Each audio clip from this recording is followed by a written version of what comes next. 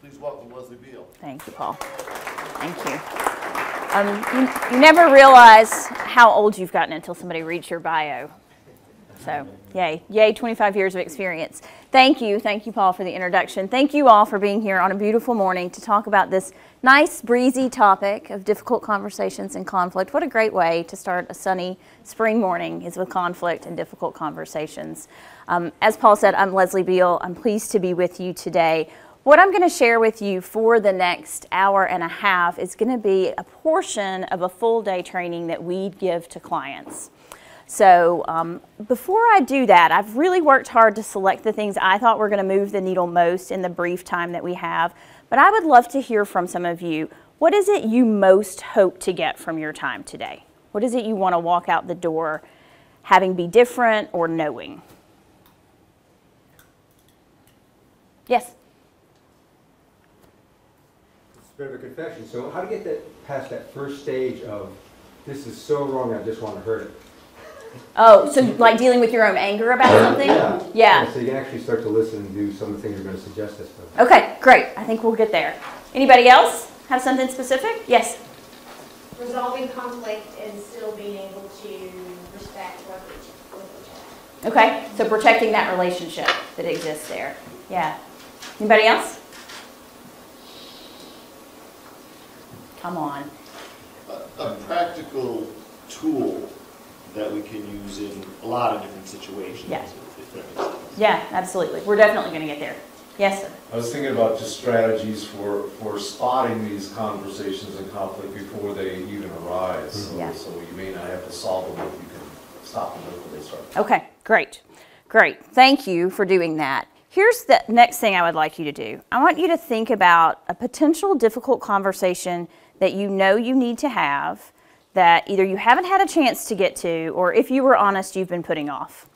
Or I want you to think about a conflict situation that may arise for you in the near future. And let me just, little side here. You're going to hear me talk about difficult conversations and conflict sort of interchangeably in this session, and I don't want that to be confusing for you. We really see in the work that we do that difficult conversations and conflict exist on a continuum right? And it has a lot to do with your personality and your tolerance for these sorts of things, whether you label it a tough conversation or conflict. All right, so I don't want you to get lost when I'm sort of flopping back and forth between the two. But go ahead and take just a couple of minutes, and if you need to jot down some notes, you can, about that conflict situation or that difficult conversation that you know you need to have that you've been putting off.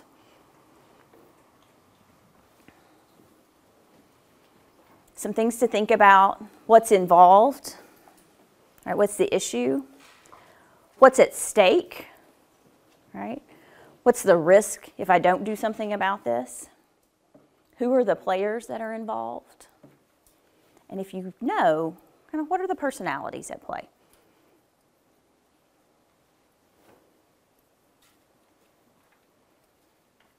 Everybody got a good example in mind? All right.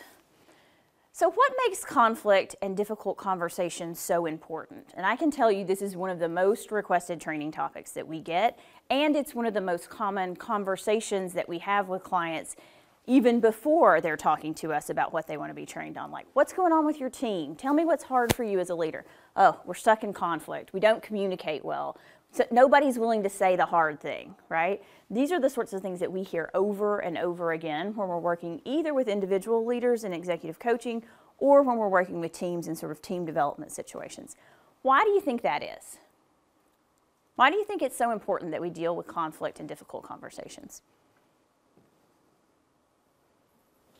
I think conflict can drive positive change if it's dealt with.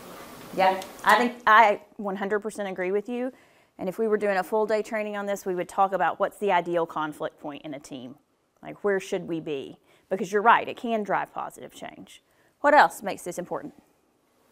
Uh, it often seems so easy to avoid certain topics and just dance around it. Yeah. It feels prevalent, doesn't it? Difficult conversations and conflicts seem like it's something that's always there. That no matter how well we're doing, we just can't get away from it, right? You could be hitting your record numbers regardless of what your metrics are, you could be hitting record numbers and still have conflict and difficult conversations you needed to deal with. The thing I want you to also understand, though, is that conflict and difficult conversations have a direct impact on the bottom line, particularly if you can deal with them effectively. So, one of the things that we know is that teams that can communicate effectively, and communicating effectively means dealing with the tough stuff, those teams make 50% better decisions. All right? So, you think about the decisions that get made in your business every day. Which products are we going to take to market? Which new service lines are we going to offer? How are we going to price things? Which clients do we want to work with? What's our new marketing plan? All of those decisions are higher quality, and I would also say faster decisions, which matters a lot in today's world, when the team communicates well. So those are bottom line issues, right? Bottom line issues. Organizations that have effective communication have a 50% higher level of trust. Why does trust matter? Trust matters for the proper functioning of a team as a whole. I like to think about trust as sort of the grease that keeps the gears grinding in a team. You can go for a little while without trust and keep functioning, but before long, everything's going to grind to a halt. Right? We'll also talk about why trust is not only an outcome of being able to deal with these things well, but it's also something that you need on the front end. All right, so trust is going to come in quite a bit in our conversation this morning. And then finally, 67% of employees say that unresolved conflict is affecting their productivity. Right. Now, I don't know about you, but stats to me, you read them so long and they sort of go whoosh, over your head, in one ear and out the other, whatever the saying is you want to use. I want you to imagine three employees on your team three employees. Now imagine two of them just told you, we have so much unresolved conflict that I am not as productive as I could be in my job. That's what this statistic is saying. It's not saying, I feel gross, it's affecting my engagement, I don't want to get out of bed in the morning. It's not a, it's not a feel good sort of thing. These folks are saying, I can't do my job as well as I feel like I should be able to do it. I can't do my job as well as I feel like I should be able to do it. So, what makes difficult conversations difficult? What does it take for you to say, ugh, this feels hard? There's a lot of emotion in the room between the two parties, Yeah, usually. yeah. In fact, you, you win the prize for today because this is why I use this bear, right? It's big and scary. Emotions feel big and scary and risky.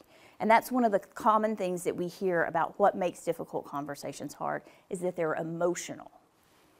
Yeah, Back to the trust issue, uh, if you can't trust your colleagues that, that they're going to help you, and, and they're gonna, you know, somehow punish you or look down on you, then you're not gonna bring it up. Yeah, yeah. So the other thing that we hear really frequently is relationship feels at risk, right? The emotions are big and it feels like there's something at risk. I'm not sure I can trust you. I'm not sure if I step out it's going to be okay. Those are relationship risks. Sometimes with people that we're going to work with for a long period of time, but even think about somebody who cuts in front of you at the deli counter at the grocery store, right? You don't have a long term relationship with that person, but it still feels risky, right? What else makes conflict or difficult conversations feel hard? Krista? just the unknown result, mm-hmm. what's gonna happen. Yeah. Like, if you do approach it, how's it gonna turn out? Is it gonna be worse? You know, sometimes just that unknown is scary. The fear of the unknown is a big issue for a lot of us. Like, okay, it's pretty bad now. I would like to make it better, but what if I make it worse? What if I make it worse? What if I go through all the emotion, I put the relationship at risk, and it backfires? Right. What else? You're missing one big one that I typically hear from folks. You don't want to hurt feelings. Okay, you don't want to hurt feelings. Some of some people don't want to hurt feelings. Other people don't want people to get mad at them, right? And I would argue those are sort of two sides of the same coin. So all of this emotional swirl gets involved. Sometimes also we don't trust our own emotions. That's an element of um, the emotionality of conflict and difficult conversations that I think gets missed. It's like, what's going to happen if I wade into this and I get really frustrated and I cry? What's going to happen if I wade into this and I lose my temper because I don't have a great tool set to be able to stay calm in these situations? So, feeling like we can't manage our own emotions, feeling like we are not going to be able to deal with the emotions that are coming at us, all of those things can make conflict and difficult conversations feel tough. What else? What else?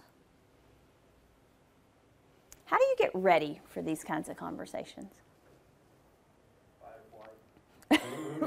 just just go with the gut, right? Just just lay into it. This is the other thing that we hear really commonly from folks is I have no idea how to get myself ready for this, right? I know how to go into a sales presentation. I know how to go in and have a conversation about a project. I know how to do those things. I have no idea how to prepare for this conversation because I have no idea how it's going to go. All right? Have no idea how it's going to go. So, all of those things make difficult conversations feel difficult. Did we miss anything? It's just awkward. Why? Because you don't want to point fingers at anyone. You don't want to tell anyone that they're doing something wrong. Yeah. Yeah, so a lot of us don't know how to go into conflict conversations without blaming, right? Without pointing the finger at somebody, without making the other person feel wrong. And let's be honest, sometimes in work situations, we do have to point the finger a little bit, right? We do have to say, you missed this deadline. What's going on? Right? You didn't do this right. What's going on? The other thing that I notice sometimes, particularly in conversations that are sort of feedback conversations, accountability conversations, is there's a little bit of imposter syndrome that shows up, right? Who, who am I to, to sort of wade into this and criticize this person for this because I've missed deadlines? Right? Anybody ever struggle with that? Yeah. Or I don't know how they do their job. One of the times we see this is when people get promoted and they're now managing people whose jobs they haven't done before, right? And they're like, oh, I don't know how to do that anymore. I don't know what the rules are. What else makes this feel hard? With the workforce being so slimmed down, you don't want to risk losing. Yeah. Yeah. We are hearing a lot still about labor shortages and those sorts of things. Even with all the news about layoffs and those kinds of things in certain sectors, we are still hearing a lot about that. And I'm hearing a lot from clients. We have to be really careful how we handle conflict conversations because somebody's going to walk out the door and we're not sure how long it's going to take to replace them. So that's that relationship risk sort of cranked up really high. I don't know if numbers are significant, but it seems like every month or so you hear about a shooting involving a disgruntled employee. Mm-hmm. Yeah, so there's a fear. There can be a real fear. And depending on who you are and your relative size and the situation that you find yourself in and who you're talking to, like you can feel physically at risk, right? You can feel physically at risk. Anything else? Do we miss anything? All right. So think about your difficult conversation. All right? Think about the conflict situation that you identified. Which ones of these things are going on for you? Which ones of these things are standing in the way? I sort of like to imagine a speed bump, right? That's slowing you down from getting to that difficult conversation, that's slowing you down from addressing the conflict. What's in your speed bump? What's it built out of? Relationship risk, not trusting your own emotions, not knowing how to prepare. Which ones of these things are in your speed bump? Just take a minute to think about that. Let me ask you this question too. If we think about different groups of people, right? Everything from total strangers in traffic to somebody you're very close with, like a spouse or a family member or a best friend, to everybody in between casual acquaintances, friends, employees Is there a group that it's easiest for you to engage in conflict with? Who's easiest for you? The people you don't know. Who disagrees with that and says, no, no, I'd much rather engage in conflict with people that I'm close with? Yeah. So this is a the reason I point this out is because this is a personality difference. And this is a good way for you to measure and sort of check yourself as to how much relationship risk matters to you. Because my guess is relationship risk matters a lot to you. Yes. Right? And that's why, like, somebody that I don't know or I'm not connected with, I can have a hard conversation with them because I don't really care. Right? I don't care as much. But for some people, they really need that trust, right? They really need that first. And so for them, it's easier to engage in conflict with somebody they're close with. You need to know that about yourself as a leader because it will have an impact on how you move into conflict in the workplace. Okay? So think about is it easier for you to sort of have a tough conversation with somebody you don't know well or somebody you know really well and why? What's the core difference there? Okay? What's the core difference? Are there any particular topics that you think are the most difficult when it comes to difficult conversations? Maybe a, um, a team member not meeting expectations of their job responsibilities. Okay. Any particular expectations? I guess maybe workload or Okay. not fulfilling the role as expected. And why does that feel particularly difficult to you? Um, Just that you had your expectations high, I guess, and then they're not meeting those goals. So you're having to sort of tell somebody that they failed. Yes, I guess so. Yeah. Yeah. Um, I can tell you for me personally, and for a lot of the folks that we work with, it's easier to do that when there's a clear metric. Like, hey, this was due on May the 1st, and you didn't get, get it to me on May the 1st. That feels really black and white. When it is more ambiguous, when it is, you just didn't handle this client interaction the way we wanted you to, and I can't tell you the exact words you should have said instead, but it just didn't feel, that can sometimes feel really, really tough for people. There's a little bit of a difference though. Some people really shy away from that clear, like all in, you miss the deadline, that's the end of the story. So that's another thing to think about is what topics are at play. Who else has a particular topic that they find difficult?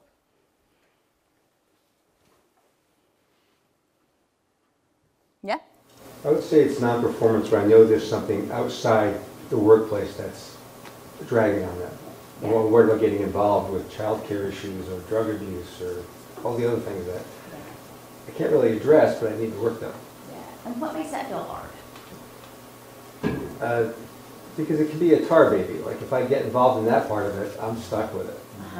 80% of the time when somebody says to me, I really don't like wading into the emotional outside of work things with people, that's the exact phrase that they use, right? I'm gonna get stuck in the emotion.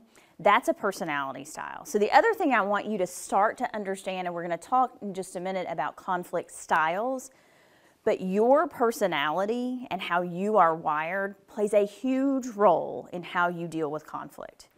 So, if you're somebody who thinks self awareness is really maybe not all that important, these are really concrete examples of why it is because some people love wading into the emotional stuff, right? And they're very, very comfortable with it. Mhm. To be clear, it's not so much the emotion of it, is uh, I'm a fixer. And if I, s- people start telling me about a tangible problem, I'm going to try to help, and Yeah. then you don't know where that ends. I mean, I sometimes tell uh, clients that if this non-performance is because of alcoholism, you probably don't want to know, because then you're dealing with uh, uh, a- a workplace uh, accommodation and treatment, so. Yeah. We, we do sometimes worry that we're opening up a can of worms that then we have to deal with, right? That then we have to deal with. And for many of us, we like being able to check something off the box. And sometimes conflict doesn't feel like that. It doesn't feel like we're going to be able to get to the end and tie it up with a little bow, put it in a box, and put it on the shelf. With those issues too, it can be a lot harder to have another conversation to where, when the issue's still going on and it's like drastically affecting their performance. Because then there's a fine line between sympathy and, you know, they still have to meet these expectations. Yeah, so not knowing where the boundaries are, not knowing where the rules are. Anybody else? Particular topics that feel difficult? Okay. About a protected work class, Mhm. older, gay, lesbian. Mhm. What makes that feel particularly difficult? Is that a boundary issue? Like I'm not really sure what the rules No, are? it's just, you know, it's something, performance needs to be addressed, has to be addressed, if you don't want the company, Mm-hmm. you know, At risk. liability reasons, but you have to, at the end of the day, you're held accountable to make it happen, so you have to have those conversations, but it's always a little more difficult when it's protected class. Yeah, the, the path is narrower, right? The path is narrower. So that's, when Paul said I practice law, that's the kind of law I practiced, was employment law. So accommodations, protected classes, all of those sorts of things. You are not in the workplace dealing with a perfectly straightforward world. There are a lot of rules and regulations, right? There are a lot of landmines that you could potentially step into, and not feeling like you know how to navigate those and not feeling like you want to put the company at risk is, a, is an important part that sort of cranks up the pressure on these kinds of conversations. Anybody want to share anything else about what makes these conversations hard? Can I just piggyback on what she was saying? You have an issue, it's not resolved, and it, then it gets worse. And then the other employees see the issue's not being resolved, and then that affects morale. Mm-hmm. And so that's kind of the big picture thing that you're, okay, we need to address this. Yeah, so it can set off this sort of ripple effect, right? Either because of what you're talking about, like we didn't deal with it effectively and now it's a thing, right? It's a big thing. Or because people drop sides. Nobody's ever had that work happen in their workplace, right? Nobody's ever had these factions develop where it's like, no, no, it's this way. No, no, it's that way. And as a leader, as somebody who sort of has to wade into this, it can feel really challenging to know how to navigate those competing interests and just try to get everybody back to work, right? Try to get everybody back to work. So, relationships, emotionality, human beings are difficult, right? We're complex. We have different perspectives. We have different personalities. That makes this all very difficult, okay? All right. Who in here is a cook? Anybody a cook? Okay. So I want you to think about if you do this right, like when you have time to do it right, not on any random Tuesday night, perhaps last night when you started late and didn't have the time to do it the right way. What do you do first when you're cooking a recipe? Make sure you have all the ingredients. Make sure you have all the ingredients. What are you going to do next? Prep, right? You're going to chop. You're going to preheat the oven. You're going to do all of those sorts of things. Then what? You take a break. you decide it's all a mistake and order takeout, right? Um, that's, that's fair. That's fair. Uh, lament the fact that you had so many children. I understand this. Um, you then start to combine things, right? Then it's time to really start to cook. I think it's a very helpful analogy to think about difficult conversations as cooking a meal, all right? So if we think about difficult conversations as cooking a meal, what are the ingredients that you need to have? So if you're going to go to the pantry and say, what do we have? What are the ingredients for conflict or difficult conversations to go well? Examples. Yeah, you need to have some facts, right? Some, we used to call those camera checks, right? Like visions of what went wrong or data. Yeah, that's great. For HR documentation, Some documentation. supervisors or whoever that we're meeting with as well. Okay. What else? What other ingredients do you want to have? Time and and the right amount of time. Yeah. Yeah, you want to allow yourself enough time. This is one of the ways that conflict and difficult conversations go really badly is you say, "Oh, this is not that big a deal. We can do it in 15 minutes." Nope. And one of two things happens, you just open it up and then it ripples through the organization, or you you try to squeeze it all in and put a bow on it, and that's not effective either, right? So you need to allow enough time. What else?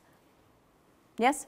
Uh, the mindset, I think like Tony said with, um, you know, like the anger you have, the initial issue, making sure that you're over that and you're in a, in a place where you're ready to have that conversation. Yeah, great. You really need to have yourself in a place where you can handle this um, from a, I call it a clean place. Like, am I over my own stuff about this? Am I calm? Am I feeling clear headed? Do I feel like this, I'm being rational about this sort of thing? Um, so, your mindset being in the right place. What else? Ingredients. Right? What do you need to have?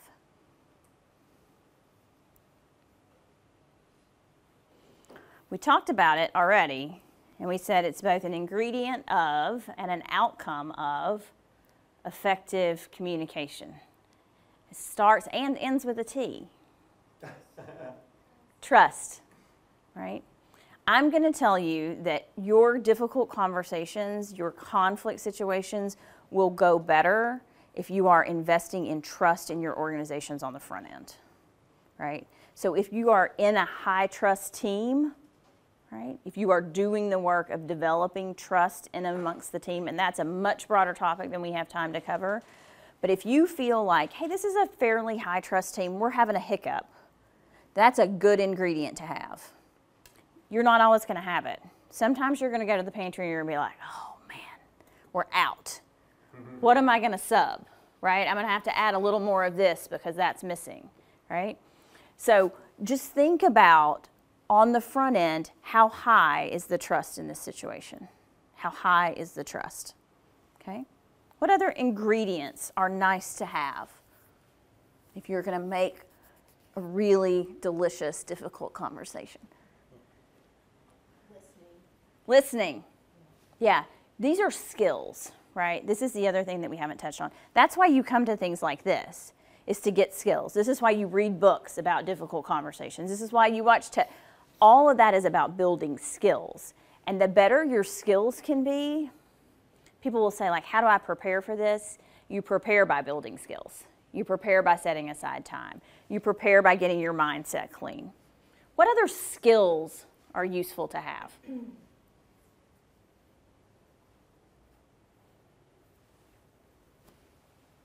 What other skills? Yes? I would say like candor. I don't think people like when you beat around the bush with difficult conversations. Yeah. Um, the skill of knowing how to communicate candidly, assertively, but not aggressively, man, that's a really difficult balance for many of us. We don't see it modeled very much in our life.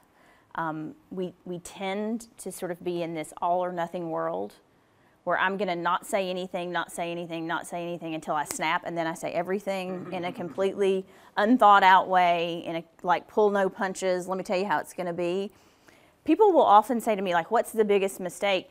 I think the biggest mistake is that people put off conflict and difficult conversations so long that they are in this place where they're just like, I'm going to lay it all on the line, right? Much better to have it sooner and have it in a more constructive kind of way. So, candor and assertive communication, really, really important. What else goes into this? Empathy. Look, I just sent that right to you. I was like, am I going to have to spell empathy in my brain now? Um, empathy, right? What does that mean? And why does it matter? I think if you aren't all it's you, it's you, it's you, and like, how can we help you? And, you know, I, you know, say, you know, I understand that you're going through other things as well, and I get that. You know, if you can kind of bring them to that level, they don't feel like they're being attacked, Yeah. and they're more receptive, I think. Yeah. Empathy, the other sort of subtle ingredient I heard in that is questions. Right? Questions.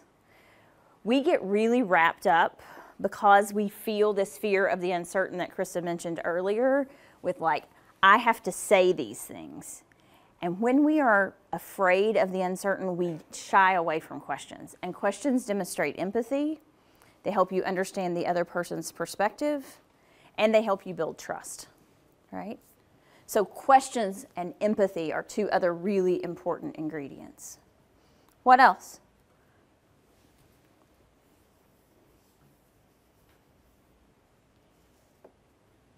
Anybody ever gotten into uh, to one of these situations and realized, oh shoot, the person that needs to really be here is down the hall?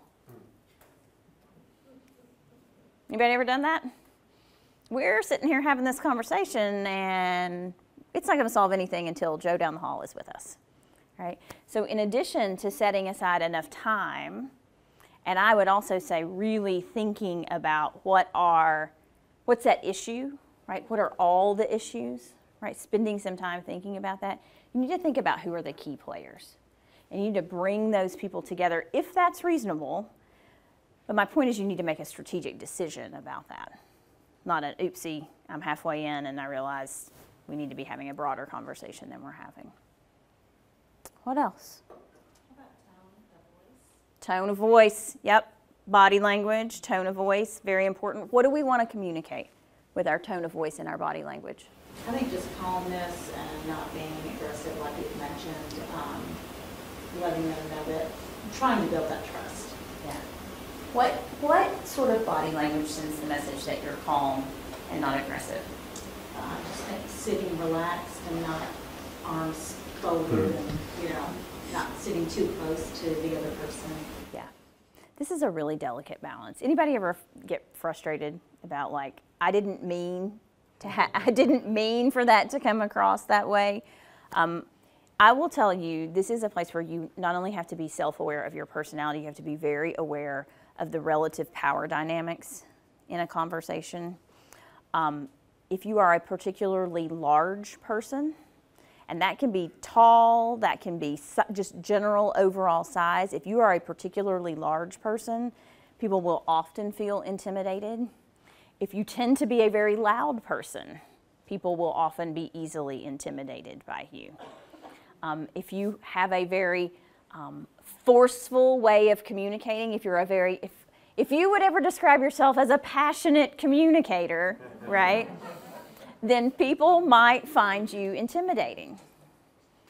Right? You have to be aware of this. And this is where things like 360s, feedback from your team are really, really important because it's hard for us to know. It's really, really hard for us to know how we land on or are perceived by other people. Right? Really, really difficult. Sometimes, if you're a really quiet person, right? I used to run into this one. I'm a very shy person by nature, very, very shy, sort of quiet person by nature. And people find that very intimidating, or they can. I can't tell you how many people I've hired who, after they were on my team for a while, said, Man, you scared the living daylights out of me. And I'm going, What are you talking like? What, what are you talking about right now? Um, so you have to be really aware of all this, and it's a delicate dance. And this gets into that territory of like, how do I land on different people, right? How do I come across to women? How do I come across to people who are younger than me or older than me, right? Anybody had to give really tough feedback to somebody that was the same age as their parent? I have. Right? Really tough, really personal, hygiene kind of related feedback. That was fun. That was fun. So, this can be really challenging, and you have to be aware of all of these nonverbal or uh, subverbal kind of tone of voice issues, right? What else? What other ingredients are we missing? Planning for the follow up. Say more. Um, you don't want that conversation to end right there. You want to have a follow-up to that, Yeah, to check in pretty soon after yeah. that conversation. And why is that important? I think it shows that you mean business and it's important hmm and it builds that trust. hmm This is what's, this is what this is. Yeah, yeah. People want to see that we're going to follow through. People want to see that we're going to follow through. And so planning for that follow through is really important, right? Do I have time on the calendar to come back in and revisit this? Do I really mean business about this? How many of you have been in a situation, and you could have been on either end of this, where a supervisor or a boss lost their temper and said, Let, me tell you how it's going to be? And two weeks later, you were like, That's not how it is, right? We, what happens the next time that person walks in your office and says, Let me tell you how this is going to be? You don't believe them, right? In fact, this can get really, really out of hand. We, I've worked on an executive team where our CEO had this lovely habit of coming in and saying, only three things matter. only three things matter, right? Very just frustrated with us as an executive team. Write these down. We would write down the three things, and okay, we'd run with them. Two weeks later, come in, only three things matter. We'd write those down. Guess what? Not the same three things, right? To the point where we started keeping a running list until we got up to about 115, and then we all decided he didn't have any better clue of what mattered than we did, and we should just do what we thought was best. So you have to be really careful when you're laying down the law to think about what is it I'm willing to follow through on? What is it that really matters here? And what's the best solution? Right? We're really quick to just slap a band aid on things, to just slap a band aid on things. But thinking about what is the real problem here and what is the real best solution to solve it rather than just what is that knee jerk kind of reaction where I just want to vent my anger at somebody. What else are we missing? I think where you have the meeting is important. You need a neutral area. Yeah, yeah. You need a neutral area. You do have to be aware a little bit of sort of power dynamics in this as well, right? Are you going to call somebody to your office? Are you going to go to their office? Are you going to bring them to the conference room? And it, that really depends on the specifics of your physical space, right? Some people, you bring them to a conference room and they're like, uh uh that's where people go to get fired, right? That's where people go to get fired. Or if you're in HR and you call somebody to your office, same thing. That's where people go to get fired or to get in trouble. It's like the principal's office, right? Hopefully not. Hopefully you've established enough trust in that function within the building that that's not the case. But you have to think about where am I going to have this and where is that person going to be best able to hear what I'm actually saying. Right? That's what we really want here. We don't want all the noise in the background to cloud the message. Okay? Yes? I have an HR um, director that years ago, something I latched onto is go for a walk and go side by side rather than in front of each other. Mm-hmm. And just take a walk and talk. Yeah. And how does that, Sometimes. how does that go? When you, when you know that that would be the best thing to do, it works well. Yeah. Why do you think that is? Because you're side by side, you're not looking straight up, it doesn't build conflict, and people are more likely to share. And I think it builds the trust better. Yeah, I agree with you. Be aware. I tend to be like a really heavy on eye contact person. That's probably why I got the feedback that I was intimidating. um, like just giving people the stare all the time. Some people are really uncomfortable with that direct one on one eye contact. So, kind of read in if you have this is where that relationship is so important. If you know the person that you're talking to, it can be much, much more helpful to say, like, is this going to be better? The other reason I think walking is sometimes really helpful is it moves some of that nervous energy through. It helps move some of the emotionality out of the system. Are we missing anything? We got listening, questions, think about the time, think about the place, demonstrate empathy. Yes? There's one I've been hesitating to mention, and that is having in mind what a good outcome is, but I don't want to be tied to a particular outcome either. Yeah. Yeah, this is where people get wrapped around the axle about how do I prep for this. Um, and my advice is always you want to have an agenda, right? You want to have like key bullet points so that you don't get swept away in the emotion and you want to have an idea of what a good outcome is, but you want to keep a little flex in your knees, right? You want to be calm enough, resilient enough that you can move with the moment, but don't go in loosey goosey, right?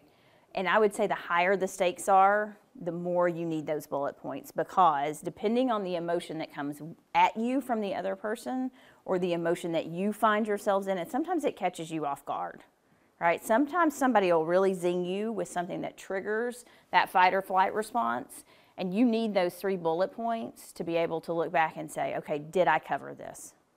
Did I cover this? Don't get wrapped up in trying to.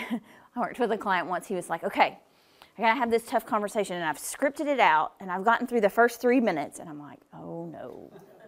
That's, this is gonna go badly for you, right? Because somebody's gonna do or say something unexpected. And if you are expecting to be able to sit down and read a script to somebody, you're gonna be way, way off your game. Stefan? Yeah, I was gonna say, like, what's the target state? Yeah. and that's, to me, that's more of a difficult conversation. It's like, I need your butt in that seat at eight thirty, headset on, ready to go. Yeah. Like, there's not any conflict here, but this is why that's important, Mm-hmm. right? And so being, being clear about what the target outcome is. To me, it's murkier on the spectrum of conflict when I'm not sure what the ideal state is. Mhm. That's when I tend to start fumbling. So if I don't have good clarity around where I need to get, and where this situation needs to go, um, to set myself up for success. Yeah.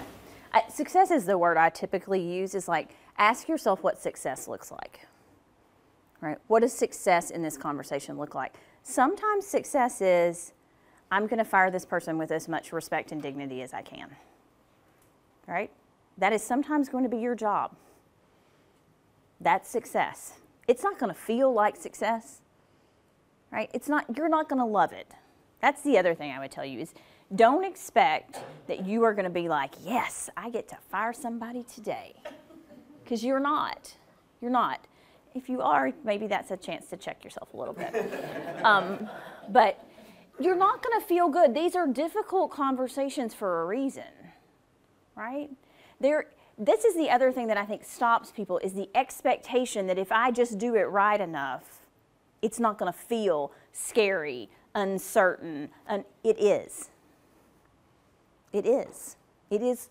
You will get more comfortable. You will get more comfortable with the idea that, hey, this is how I feel before these conversations. There's a little bit of uncertainty, right? I've got a little bit of adrenaline going. But you're never going to walk into these and be perfectly, perfectly calm. That's unusual, right? That's unusual. It'll get better, but if you keep waiting for that to happen, you'll never, ever get any better because you won't try it. This is one of those things you have to go out and do. Okay? To go out and do. Any other questions about that? I feel like you need to know who your audience is mm-hmm. because we recently had very difficult conversation and the main reason is the recipient, it always seems like the waters get muddied in the middle of a conversation. It's almost like those three bullet points have to be gone over like three or four or five times, like by the end of it, to see if they got it, because it's almost like they're intentionally throwing you off with other information in order to avoid the actual point. Um, You know, sometimes that's why those conversations are so difficult, because you feel like you're already preparing for the fact that, are they even gonna get it? You know, Yep. like, are they gonna be listening to me? And, you know, there's times where you want to go on a walk with someone, and then there's times where you need to be like very clear with someone who needs clarity Yeah. in the conversation. Yeah, I think that's a really important point. This continuum of difficult conversations to conflict, you've got to decide is this a place where I'm trying to understand, where success looks like me kind of saying my piece and then trying to understand what's going on with this employee? Like if you have a performance issue with somebody who's typically a great performer, right? Then you might sit them down and say, hey, we've noticed these examples where your performance doesn't match what you've been typically doing and doesn't really match our expectations. What's going on for you? Right? That's a different kind of conversation than, hey, look, I need your butt in the seat at 8:30 so that we can get started doing work. And I know that there's all this stuff, and I'm happy to help you try to figure that out. But at the end of the day, I need your butt in the seat. Right? you have to know what you're wading into because you got to be able to grab different tools out of the toolbox. That's why understanding what success looks like on the front end is so important because these conversations can feel a little bit like grabbing jello, right? They just kind of squish all over the place, right? And that's not how you want to feel. That's not how you want to feel where you look up and say, oh my gosh, I meant for this to take 20 minutes and we've been here for an hour and a half and I'm not, I'm on bullet point one. Well, dang, right? Um, you can imagine I've, I've sat through a lot of termination conversations in my career. Um, and the, the worst one I ever sat through, the supervisor got so nervous that he spent probably 40 minutes telling this poor woman how great she was. And literally, so he said, You're fired, but you've been great. right? You're fired, and 40 minutes of how great you are to the point where this poor woman looked at me at the end and said, I'm lost. Am I fired? Right? Don't do that. You got to know what success is. You got to know what success is. And in that situation, it would have been be brief, be clear, be respectful, and allow this person to leave with some dignity. Okay? So, one of the things that impacts how we show up and impacts how other people show up in conflict conversations is our conflict style, right? So, I'm sure many of you in here have taken all sorts of personality assessments, right? You may have taken a personality assessment. Okay, this you can take an assessment, and if we were doing a day long workshop, this is where we would stop and you would take an assessment on your conflict style we obviously don't have the time to do that today, but if this is something that you think you struggle with or something your team thinks you struggle with, come and talk to me. I can give you some resources where you can go and take this. It's certainly something that we do with folks as well. But your conflict style and the conflict styles that you are going to encounter is a really important part of that toolkit in preparing yourself to be effective. And our conflict style essentially is a mix of two core characteristics assertiveness, which you can see there on the vertical axis, and cooperativeness, which you see there across the bottom. Right? Assertiveness is our ability, essentially to stick to our bullet points, it's our ability to stay connected to our own agenda, to our own needs in the situation, and to advocate for those. Right? So, how closely can we be anchored to the outcome that we want, to our needs, to our perspective? Cooperativeness is our ability to stay connected to the other person, to understand their needs, their perspectives, what they want to get out of the situation. And cooperativeness is also our ability to value the relationship that's at stake. Right?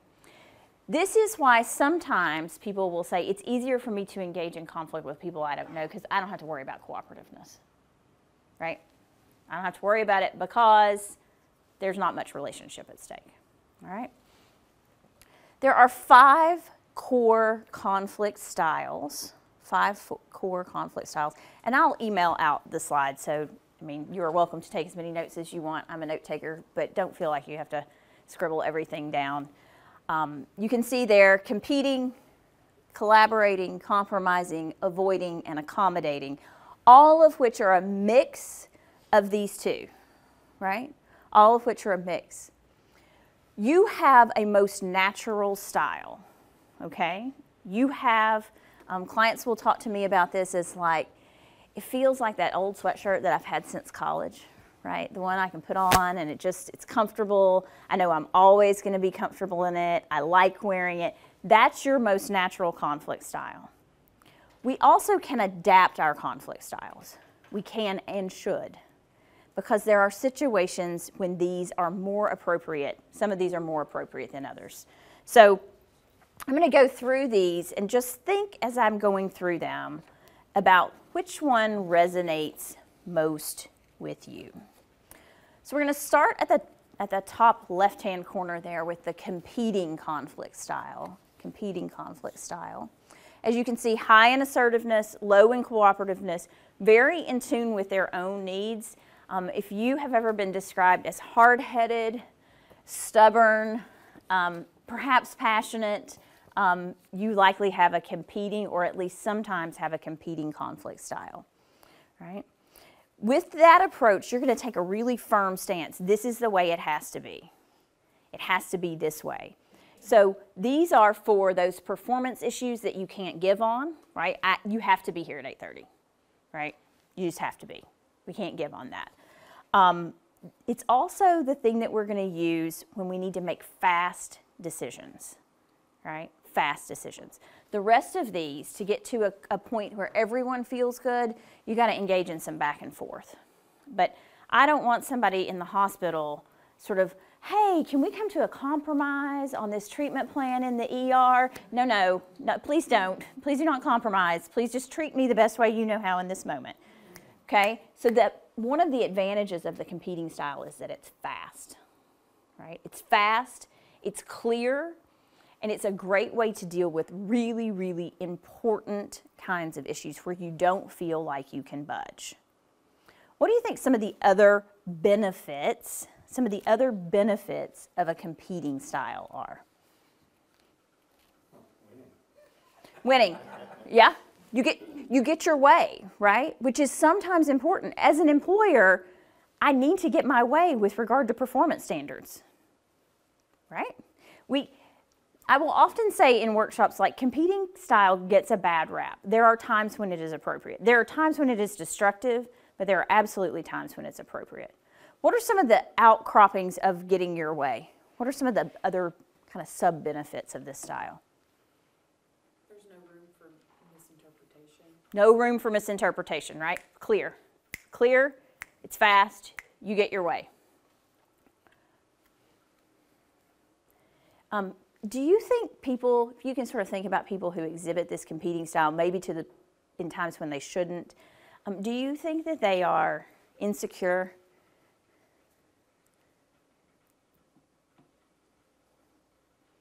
Sometimes. Oh, I see. Yeah, like sometimes. One of the benefits of this, though, is that it can boost your ego. Right? It can boost your ego. And that sounds awful, but some of us actually need that. Some of us who, who live a little further down here could use a little more of that, right? You, you maybe can think about this more easily with people on your team. You may have other managers who are doormats who let people get away with everything, and they actually need a little more of that confidence, right? And embracing more of a competing style of conflict is a great way to get there. The other thing we talk about as a positive of the competing style on a team in particular is these people are the people who are willing to say the thing that nobody else will say. They're the one that'll bubble the conflict to the surface, right? So they may or may not be the most effective at resolving it, but you actually need a little bit of this energy on a team. Otherwise, you get a lot of that sort of stuff, that tension and resentment under the surface that everybody else is too nice to talk about, right? But competers are like, wait, wait, wait, wait, wait, stop, right? What are some of the negatives of this style, do you think? It's not appropriate for all situations. It's not appropriate for all situations. Why not? It can make someone just not want to talk to you anymore. Yeah. You are always using that style. If you always come across as a competer, if you're always a my way or the highway person, one of the worst effects of that for a leader is that you lose out on feedback, right? You lose out on feedback because the, the people around you go dark, they go quiet, right? So, what else? What else makes this not the most effective style? There's no listening. There's no listening. Yeah, there's no listening. Um, you miss out on feedback, you miss out on crucial conversation. You can create a climate of distrust and suspicion, right? It can become a like, why does it always have to be your way? Why can't we at least talk through this? Right? You can really upset the atmosphere. So the other thing is when you miss out on feedback, you get surrounded by, by yes people. Right? People become afraid to stand up to you. They'll just fold up their tent. Right? I would also add in today's environment, you lose a lot of good talent this way. If this is the only tool you have in your toolbox, if it, this is the thing you grab for in every situation, you can lose a lot of good people. I'm going to jump ahead. Questions that you want to consider when deciding whether a, an approach is the most effective is how much do I value the relationship versus the issue, right? So that's assertiveness versus cooperativeness. Which one is more important in this situation? What are the consequences if I don't do anything, right? How important is the issue at hand? Can I let this one fizzle out?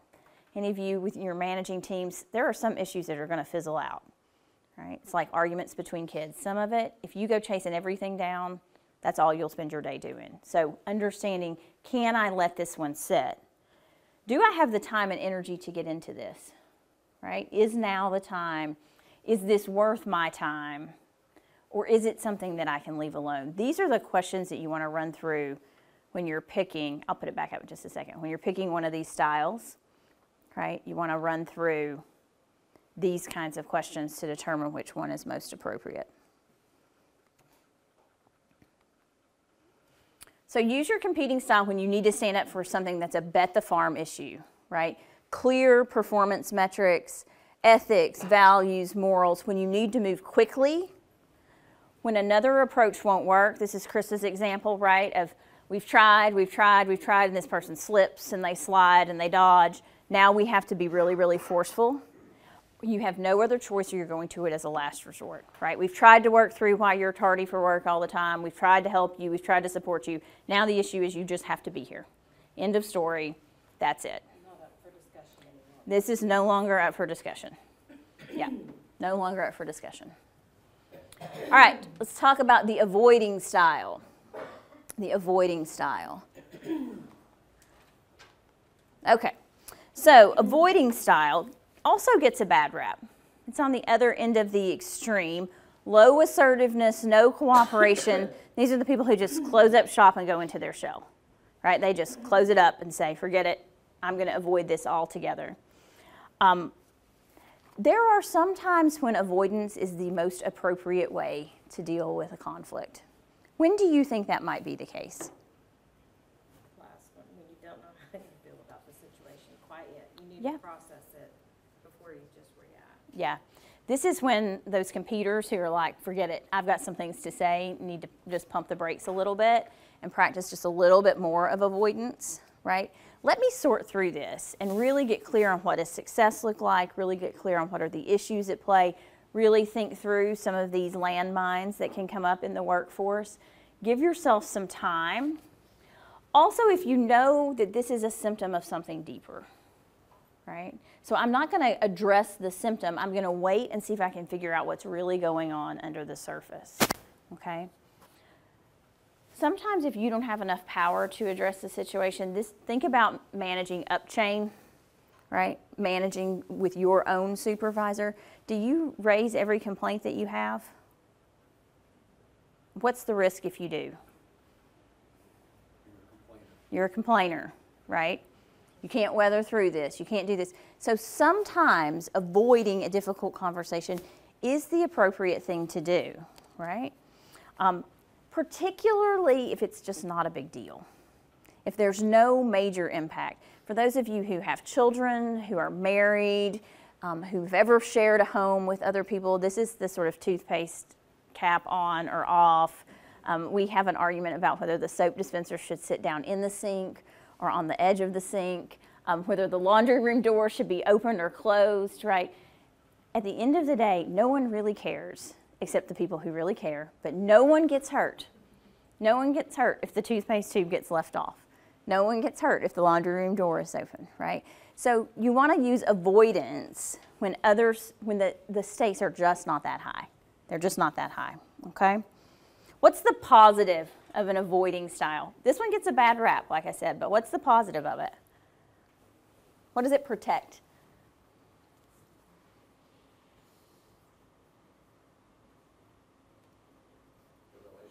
It protects the relationship, right? I'm not putting anything at risk. I'm deciding this is not a big enough issue for me to hand, for me to deal with today. What else does it protect? Protects my time, right? Like I'm not going to have a 30 minute conversation about the toothpaste tube again today, right? Because I don't have time for that. And we all know I'm right anyway, right? We all know I'm right. I'm just not going to say it. Okay? So protect the relationship, protect the time. What else does it do? Maybe a situation will, work out on its own. Yeah. We do miss this sometimes, right? And this is a tough judgment call because not all conflict situations will work out on their own, but sometimes they will. Sometimes you can let two team members figure something out for themselves.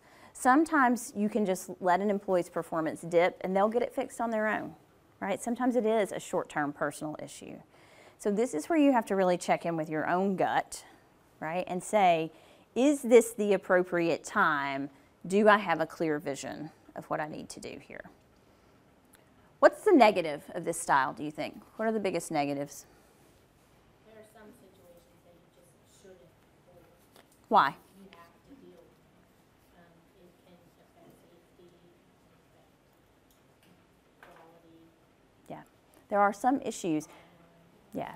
When people the problem with competing or avoiding really is when it becomes sort of a habitual style that people aren't using consciously, right? Where and where they don't feel like they have other tools. So for avoiders, this becomes an issue where they just don't know how to step out and engage in conflict. They're just like, "Ugh, I'm going to push all of this under the rug. And things like safety, quality can't be pushed under the rug. These big kind of bet the farm issues need to be addressed. What do you think are some of the other negatives that come into play? Yeah. Sometimes this bubbling stuff fizzles, and sometimes this bubbling stuff explodes. All right? It can breed this level of resentment that never gets aired. Anybody ever worked on a team that was avoidant like this, where we you just never talk about the tough stuff, but everybody kind of low grade hates each other? It's miserable. It's miserable, right? In some ways, it's more miserable than being engaged in open conflict with one another. Maybe that, that may be my, compete, my natural competing style coming out.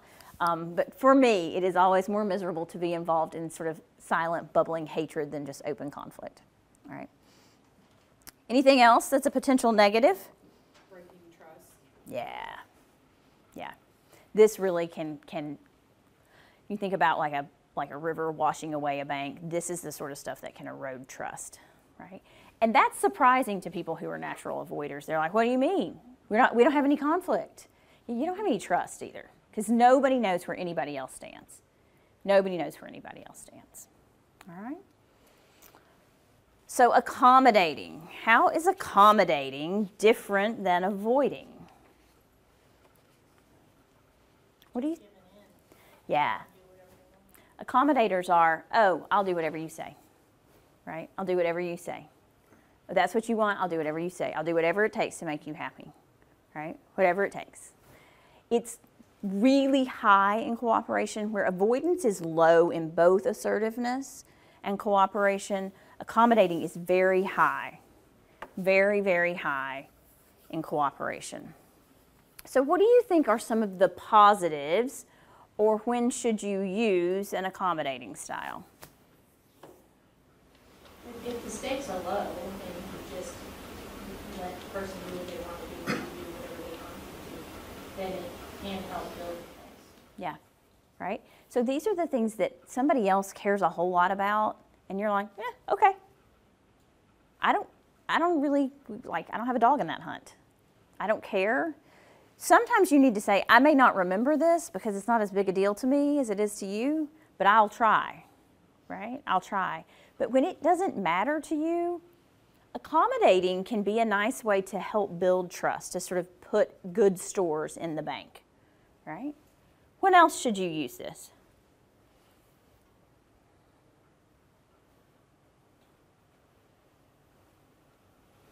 Maybe if you're wanting to empower someone, Okay, can you say more about that? why don't you have someone that comes to you about, this is what I think we should do with this, and you really don't have a stake in that, but if it, if it brings the outcome still the same way, there's ten ways to skin a cat. So just skin it that way, that sounds fun. Yeah. Um, first of all, I love it when somebody else uses the same language as me. Like there's there are many ways to skin a cat. I don't care how you get it done. My, when I say this to my children, they look at me like I've lost my mind. Um, so thank you for that. Um, but it is a really nice way to say like, if you think this is going to work, I'm not so wrapped up in the how. Right? I'm not so wrapped up in the method. I want to get to the results.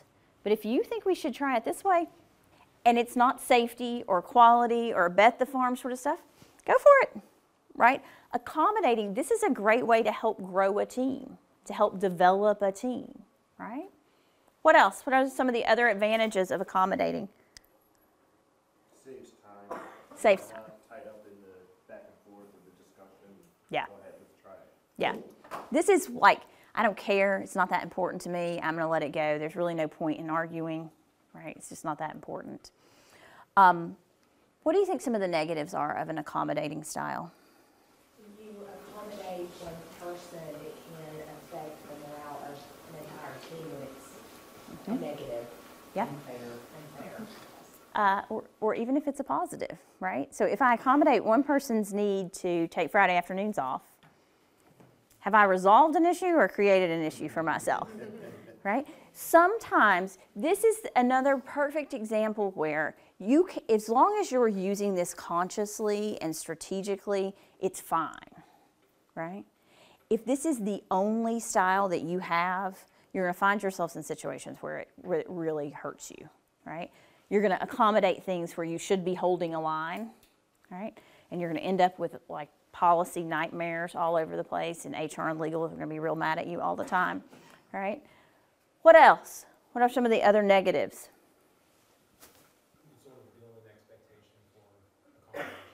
Mm-hmm. Yeah, you sort of start to feel number one about yourself like you're a doormat, right? Like I don't, I don't know how. It's been so long since I've stood up for myself. I don't know how to do it, and everybody else sort of expects that you're the nice one, right? Every like think about your group of friends. There's probably a nice one. There's the one that's like, I don't care where we go to dinner. Mm-hmm. I don't care where we go on our trip. I don't care, blah blah blah. And then when that person finally is like, I really want to go eat Mexican food tonight, mm-hmm. everybody's like, oh my God, right? That can happen on a team too. You can get this, you get sort of put in a seat that you can't get out of, that you can't get out of. It also allows communication to break down, right? If this is all you can do, right, that's your sort of habitual response, it allows communication to break down. So, compromising, the compromising style says we're going to meet in the middle. We're going to meet in the middle. And that's what most of us will say, like, that's the gold standard, right? That's what we want. We want to find a compromise. Here's what I can tell you about compromise compromise is how we make legal settlements, right? We horse trade, right? I'll give you this if you'll give me that. I can promise you that no one has ever walked out of a lawyer's office with a settlement that they were happy about. They always think they got too little, they paid too much, right? The biggest downside of a compromising style is that it provides a temporary solution that nobody is really thrilled with. Right? That nobody is really thrilled with. It's kind of eh. The other downside is you can't always compromise. Right? You can't always compromise. It's just not always possible. There are some things that are all or nothing. Right? There's some things that are all or nothing. You can't have a fully remote team and a fully in the office team. You can have a hybrid team, right? But you can't have both one day and then switch it back and forth all the time, right? You, we saw this a lot in the immediate aftermath of COVID where people were like, well, some of you can come back and some of you can work from home. Do you remember what a nightmare that was? Right? That's because compromising. We went to it because it was fast. Because it's fast and we had to. We had a temporary solution that we had to create. But in the long term, it didn't really suit anybody's needs, right? So you want to choose compromising when you need something fast, you need something temporary, and you just have to have a solution, right? You just have to have a solution. What do you think are the big downsides or the big positives of compromising? I think a lot of time when people think compromise, it's 50-50. But in reality, it's, in marriage, it's 90-10, 70-30, you know. Mm-hmm. Yeah, compromise does give this like the illusion that we're going to go into this equally, Right. right? And that's not usually true. That's not usually true. It's not usually true in the workplace either, and it's not always appropriate for it to be true in the workplace. What else? What are some of the other negatives of compromising? A lot of times you don't get to the heart of the matter where, where conflict is involved. I mean, because two people have two good ideas, and they're both perfectly fine ideas, but one may be better than the other. Yeah. But if you water both of them down, you end up with the worst of, of both. Yeah, very often the compromise, and we you hear this, right? If you really listen in business, you'll hear people say, "Well, that was a compromise solution that didn't really solve anything." Right? We we band-aided that, right? We band-aid or or politics sometimes, right? It's like, well, who thought we had this idea and this idea and y'all came up with that, like this weird robot idea in the middle, this is where you can get a lot of really Frankenstein kind of business solutions where we bolt on this and we bolt on that and then we end up with this thing that doesn't really solve anything at all, right? What are the positives though? What are the positives of compromise?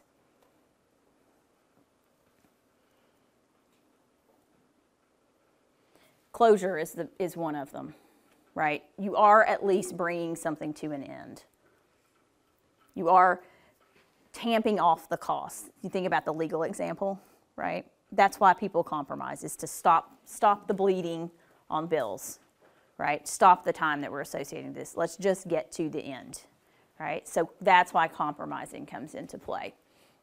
Um, the final style is collaborating, and this is where you are high in assertiveness and high in cooperation, right? This is where everybody comes together, everybody brings their point of view, everybody sort of has their say, and you get to this place where you have a 2 plus 2 equals 5 kind of solution. All right? We take the best part of your ideas, we take the best part of my idea, and we come up with something that's either even better than either one of us could have come up with individually. Okay? When do you think this sort of style is the most important?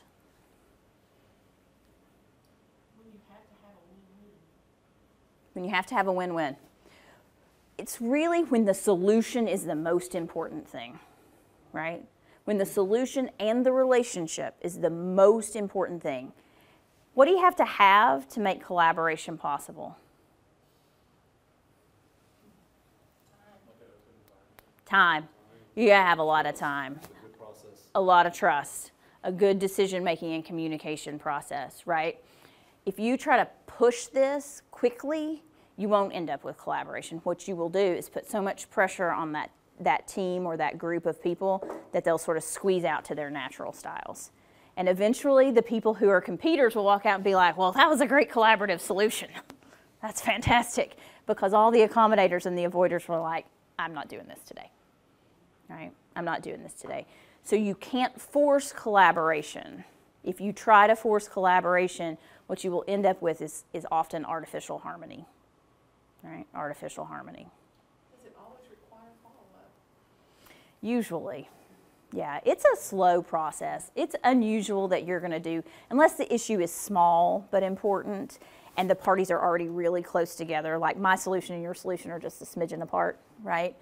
Then you can collaborate relatively quickly, particularly if trust is high. If we're sort of all aiming at the same thing, we're really aligned, we really trust each other. But typically, collaboration is slow, very, very slow, um, and often iterative. And what I mean by that is often we come up with this is our first step at a solution. Whoops, we missed it a little bit. We got to go back and try to collaborate again and sort of revise it. So, collaboration is slow. It puts a lot of value on relationships. The other positive is that you do often come up with a better solution than anybody else thought of on their own. Right? That's why we do these sorts of things.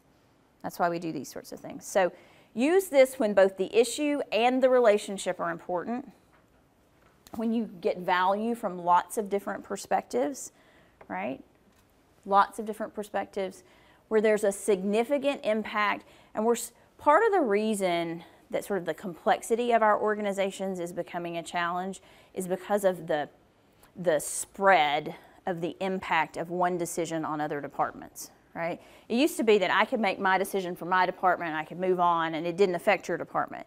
But those sort of interdependencies and complexities of organizations have really forced us to go more to this collaboration style at the same time trying to force us to move faster, right? And that's, that's really challenging. So if you work with high level executive teams, they'll talk about how difficult this is in today's environment, right? But the other positive is you get to consider everybody else's point of view. Everybody else's point of view. Okay?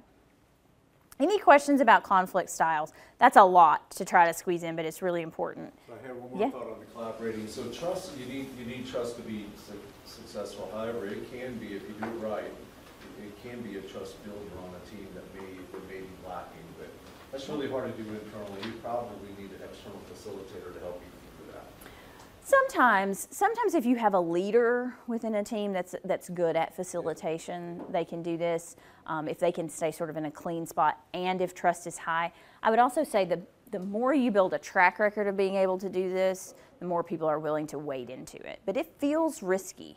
It feels risky for um, competitors to sort of turn down the heat because the risk to them is like we're not getting anything done.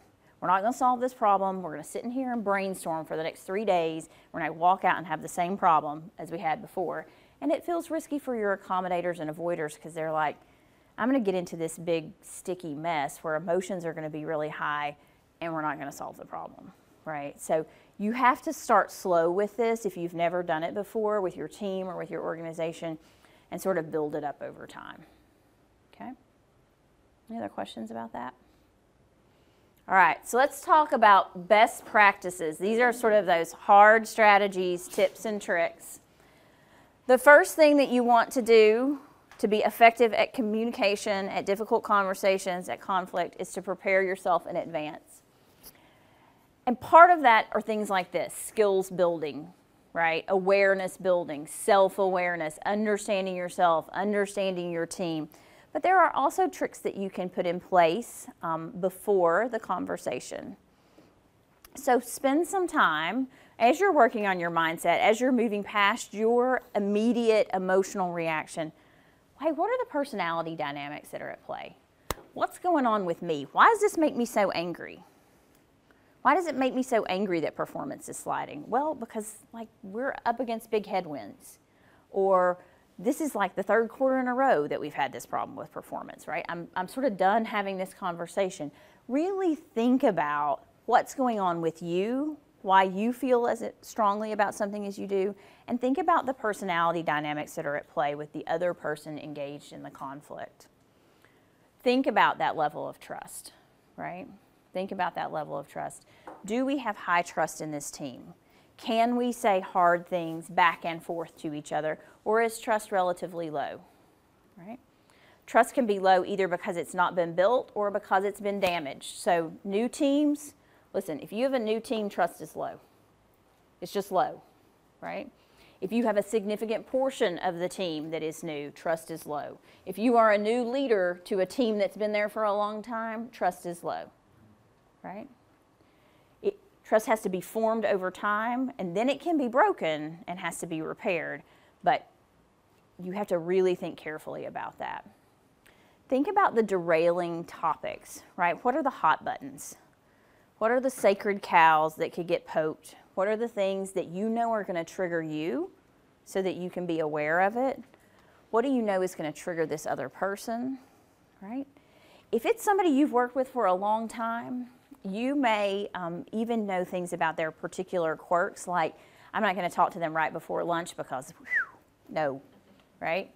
I had a team that knew that if my hair was pulled back with a regular office rubber band instead of a hair tie, that I was having a real bad day, and you should probably wait until tomorrow, or at least until I took that office rubber band out of my hair, right? Um, think about who you're dealing with, think about how you're showing up. Those are the things that you can do to prepare in addition to understanding the issue, understanding the players, painting a picture for yourself of what success looks like. You want to practice good habits. These are the things that we've talked about a little bit, um, sort of around and about in our time this morning. But good conflict habits are the habits that turn down the temperature, turn down the heat, de escalate the situation. So think about using words that are not hot, right? Think about using words that are not big. Some of us are big communicators, right? My husband tells me, and, and now my teenage boys tell me, that girls use too many adjectives. I don't know that they're right. I think that their world is very boring where it's just caveman talk and all just nouns and verbs all the time. But they will say, like, when you turn up the temperature unnecessarily, it feels weird, right? So be aware of the temperature of your words. Are they big, incendiary, start a fight kind of words? Or are they calm, we can find a resolution, solutions based? Okay? Don't be aware of going too far the other way, though. Some of the active listening techniques that you can read in books, if you use those with the wrong person, that, that's a real trigger, right? So try just to use plain language as much as you can, right? Try to talk this out. If you've got an office, close the door and say, What do I want to say to this person? If they were standing right here, how would I say this the most clearly? Okay? Be aware of your language, be aware of your body posture and the tone of your voice, and stay curious. use questions unless you're in this situation where you're like, this is the end of the road, right? It has to happen. Until then, you want to stay curious. So think about where you are on that continuum and how much curiosity is appropriate. But if you're at the beginning and somebody's just starting to demonstrate challenges with their performance, then staying curious can be really, really helpful. I will also say if you can stay curious, it helps tone down your own internal temperature. Right? It's a great way. It doesn't it's not all that effective to say don't get angry, don't get angry, don't get angry cuz you just if you can say, "Hey, how can I get curious here?" That's a great way that'll automatically drop your temperature. And then finally, and this is my favorite conflict tip, so I always save it till the end, and that is find the issue. Find the issue. Find the third thing. Um, and with teams that we've worked with for a long time, with executives that we've worked with for a long time, we'll be having a conversation and I'll just do this. Like, what's the third thing? We typically think about conflict as being you versus me, you versus them, you versus the other person, right? It's a very head to head sort of thing. If you can find the thing that you are jointly battling, right? You can find the thing that you are jointly battling and get it clear in your mind, you are often able to come to that conflict in a much more resilient way and, frankly, a much more effective way right? It keeps you from seeing the other person as the enemy and helps you see the problem on a bigger scale.